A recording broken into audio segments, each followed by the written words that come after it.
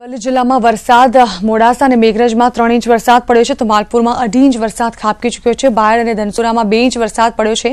તો ભિલોડામાં દોઢ ઇંચ વરસાદ ખાબક્યો છે. મોડાસા અને શામળાજીમાં પણ વરસાદ ખાબક્યો હતો. અરવલ્લી જિલ્લામાં વરસાદ વરસ્યો છે, જેમાં મોડાસા અને મેઘરજમાં ત્રણ ઇંચ, માલપુરમાં અઢી ઇંચ. તો બાયડ અને ધનસુરામાં બે ઇંચ વરસાદ વરસ્યો છે. ભિલોડામાં દોઢ ઇંચ વરસાદ વરસ્યો છે. મોડાસા અને શામળાજીમાં પણ વરસાદ અવિરત ચાલુ જોવા મળ્યો હતો.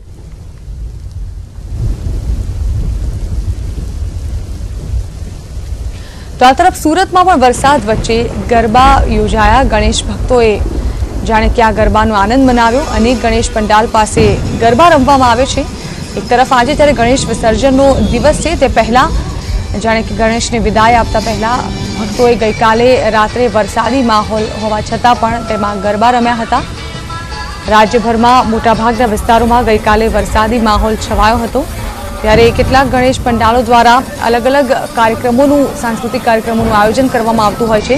ત્યારે આવું જ એક આયોજન ગરબાનું કરવામાં આવ્યું હતું. કેટલાક ગણેશ પંડાલોની બહાર જોકે વરસાદે તેમાં વિઘ્ન બનવાનો પ્રયત્ન કર્યો, પરંતુ ગણેશના જે ભક્તો છે, તેઓએ વરસાદમાં પણ ગરબા રમીને તેનો આનંદ માણ્યો હતો.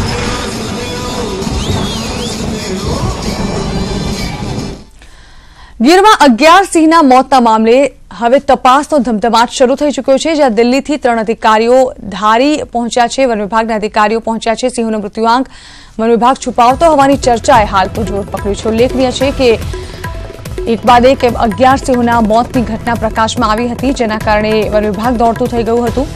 બીજી તરફ આંકડાને કારણે હજુ સુધી કંઈક વન વિભાગ છુપાવતો હોવાની શંકાએ હાલ તો જોર પકડ્યું છે, કારણ કે પહેલા સિંહોના મોતનો આંકડો ચાર બતાવવામાં આવ્યો હતો, પરંતુ ત્યારબાદ અગિયાર જેટલો મોતનો આંકડો પહોંચી જતા આ બાબતે અનેક શંકા ઊભી રહી ઊભી થઈ રહી છે. ત્યારે આ મામલે હવે તપાસ કરવા દિલ્હીથી એક ટીમ આવી પહોંચી છે અને હવે સિંહોના મોતના મામલે તપાસનો ધમધમાટ જે છે તે શરૂ કરી દેવામાં આવ્યો છે.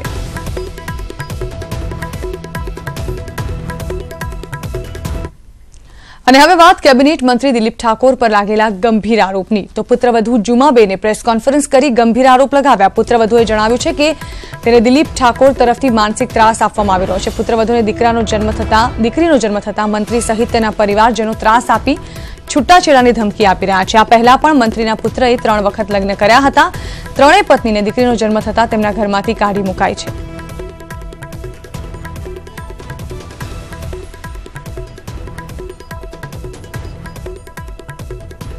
જે મારે એક વર્ષ એમને સારું રાખતા મારે હીરનો જન્મ થયો. એના હીર જન્મ પછી મને એક વર્ષ સારું રાખ્યું. પછી એમને પુત્રીનો જન્મ થયો. પછી એમણે શારીરિક, માનસિક રીતે મને ત્રાસ આપવા માંડ્યા. મારી નણંદો, મારી સાસુ, મારા સસરા, મારા પતિ એમણે ધમકી પણ આપી કે અહીંથી જતી રહી. ન કે તને અહીંથી મારી નાખશું. વર્ષ સુધી એને સારું રાખ્યું અને જ્યારે પુત્રીનો જન્મ થયો, ત્યારથી એને માનસિક ત્રાસ આપી અને હેરાન કરવાનું ચાલુ કર્યું. ઘરમાંથી બહાર કાઢી મૂકી અને પુત્રી અને મારી બહેનને માનસિક અને શારીરિક ત્રાસ આપીને કાઢી મૂકી. વલસાડ નજીકથી પસાર થતી ઓરંગા નદીને પ્રદૂષિત થતી અટકાવવા અને લોકજાગૃતિ કેળવવા માટે એક સંસ્થા દ્વારા એક અનોખો પ્રયાસ હાથ ધરવામાં આવ્યો. સેવ ઓરંગા એટલે કે ઓરંગા બચાવના સંકલ્પ અને સંદેશ સાથે વલસાડની ઓરંગા નદીમાં તરણ સ્પર્ધા યોજવામાં આવી હતી. ઓરંગા નદીના વહેતા પ્રવાહમાં સ્પર્ધાની શરૂઆત થઈ હતી. તરણ સ્પર્ધામાં સાહીઠથી વધુ તરવૈયાઓએ ભાગ લીધો હતો.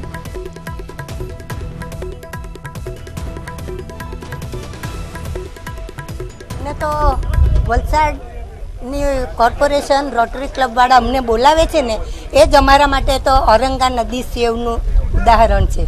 અમે લોકોને પણ એમ જ કહીએ છીએ કે આપણે નદીને સેવ કરવાની છે, નદીને ગંદકીથી દૂર રાખવાની છે, એ જ પાણી આપણે વાપરવાનું છે, એ જ પાણીનો આપણે ઉપયોગ કરવાનો છે. ઓરંગા નદી માટે તો હવે જેટલું પુરાણ છે એના મારા હિસાબે તો એવું કરવું જોઈએ કે આગળ કોઈક ડેમ બનાવવો જોઈએ.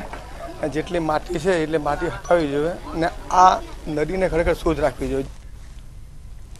મોરબી જિલ્લામાં સત્તર ગામના ખેડૂતો પાણીની માંગ સાથે છેલ્લા ત્રણ દિવસથી ડેમી ત્રણ ડેમ પાસે આંદોલન કરી રહ્યા છે, જેના ભાગરૂપે ખેડૂતોએ લગાન ફિલ્મની જેમ ડેમી ડેમના સુકાભટ વિસ્તારમાં ક્રિકેટ મેચ રમીને વિરોધ નોંધાવ્યો છે. ખેડૂતોની માંગ છે કે નર્મદાના નીરથી મોરબીના ડેમી બે અને ડેમી ત્રણ જળાશયોને ભરવામાં આવે. આ આંદોલન દરમિયાન ખેડૂતોએ પ્રથમ દિવસે સરકાર સામે ધરણા કર્યા હતા, બીજા દિવસે સરકારની સદબુદ્ધિ માટે યજ્ઞ કર્યો હતો. આ ખેડૂતો ગુજરાત કિસાન સંગઠનના નેજા હેઠળ આંદોલન કરી રહ્યા છે. ગુજરાત કિસાન સંગઠનના પ્રમુખનું કહેવું છે કે રાજ્ય સરકાર ખેડૂતોના દર્દને સમજે. ખેડૂતોએ ચીમકી આપી છે કે રાજ્યભરમાં નર્મદાના કમાન્ડ વિસ્તારના ખેડૂતો પાણી માટે માંગ કરી રહ્યા છે. આ તમામ લોકોને ભેગા કરીને સરકાર પાસે પાણીનો હિસાબ માંગીશું.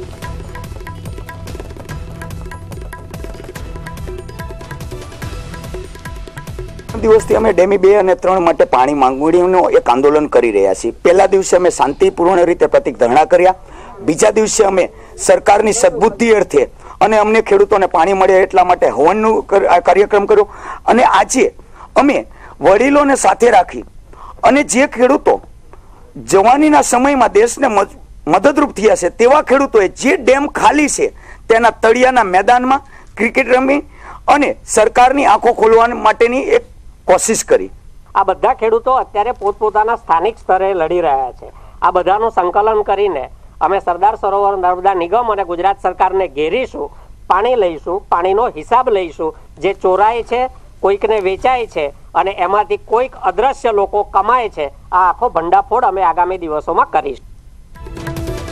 તો વરસાદના લીધે ખેડૂતોને તેમનો ભૂપાક નિષ્ફળ જવાની ભીતિ છે. આ ઉપરાંત રાજ્યના અનેક જિલ્લાઓમાં પણ ઓછો વરસાદ પડ્યો છે, જેના લીધે ખેડૂતો ચિંતિત છે. ખેડૂતોનું કહેવું છે કે પાણી વગર તેમનો પાક બળી જાય તેવી સંભાવના છે.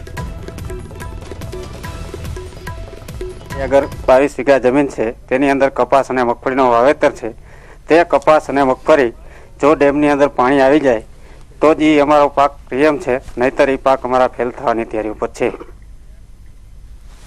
નવરાત્રી આવી રહી છે, ત્યારે નવરાત્રીમાં નવા લુક, નવી જ્વેલરી અને નવા ક્લોથ્સથી સજવા થજવા તમે આતુર હશો. ત્યારે નવી વેરાયટીઝની નવરાત્રી જ્વેલરી અને ટ્રેન્ડી ચણિયાચોલી નક્ષત્ર નવરાત્રી એક્ઝિબિશનમાં જોવા મળી. અમદાવાદમાં આવેલી ધ ગ્રાન્ડ ભગવતી હોટેલમાં આવેલા નક્ષત્ર એક્ઝિબિશનમાં રહેલી ફ્લાવર જ્વેલરી આ વખતે લોકોના આકર્ષણનું કેન્દ્ર બની છે.